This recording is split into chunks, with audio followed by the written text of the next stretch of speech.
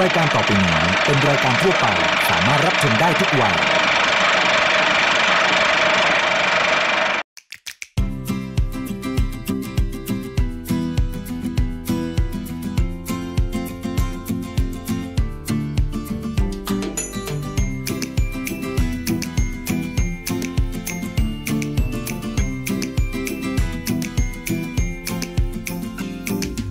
นับสนุนโดยผลิตภัณฑ์ตราลูโบ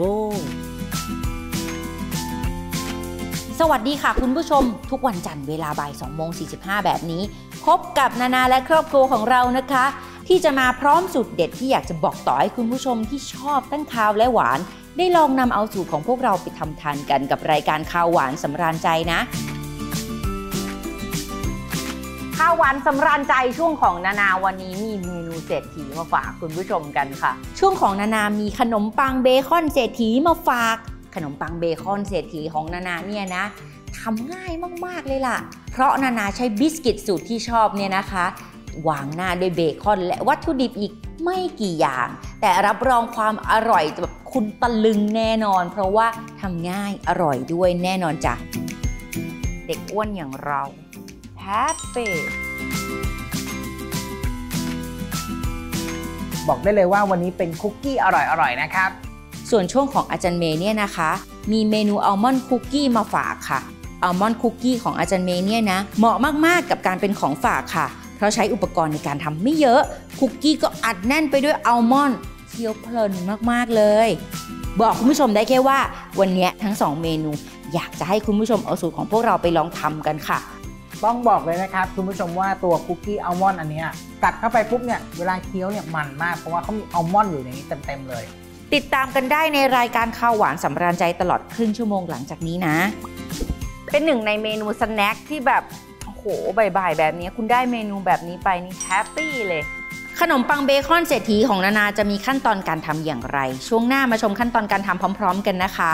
แต่ตอนนี้นานามีหนึ่งเมนูแสนอร่อยจากผลิตภัณฑ์ TFM รอคุณผู้ชมอยู่ ไปชมพร้อม ๆ กันเลย อร่อยกับผลิตภัณฑ์ TFM วันนี้เรามีเมนูคุกกี้หน้าแตกมาฝากกันค่ะ วิธีทำคนผสมแป้งอเนกประสงค์ตรากบ กับผงฟู และเกลือป่นเสริมไอโอดีนให้เข้ากันเตรียมไว้ ใส่น้ำตาลทรายลงในภาชนะ ตามด้วยน้ำตาลทรายแดง ผงกาแฟ เนยสดชนิดเค็มละลาย และไข่ไก่คนให้เข้ากัน เติมส่วนผสมแป้งที่เตรียมไว้คนให้เข้ากัน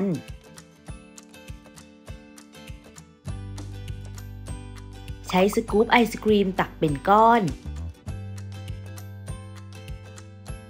นำเข้าแช่เย็นจนทรงตัวดี จากนั้นนำลงคลุกกับน้ำตาลไอซิ่งให้ทั่วชิ้น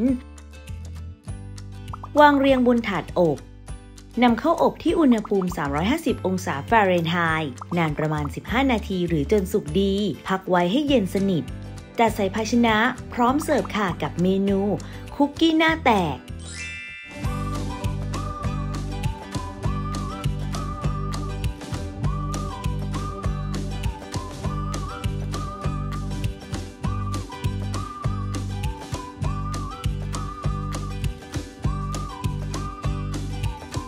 ค่มีผลิตภัณฑ์ TFM ติดครัว ก็อร่อยกันได้แล้วค่ะ